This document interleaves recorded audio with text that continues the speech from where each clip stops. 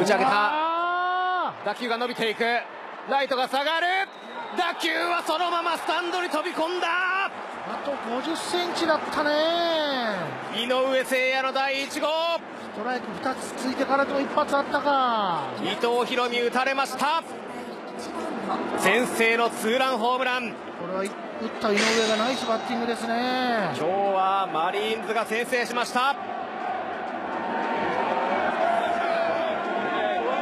最後は高めのボールでしたよね。そうですね。決めにいったストレートなんですけどね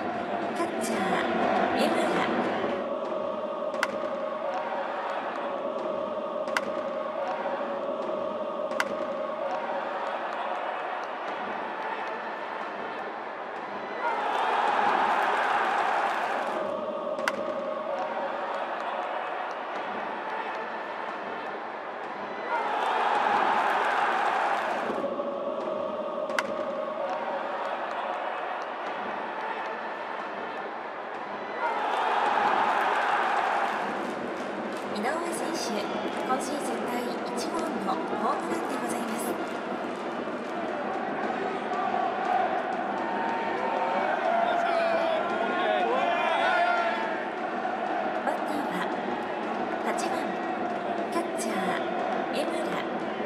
背番号53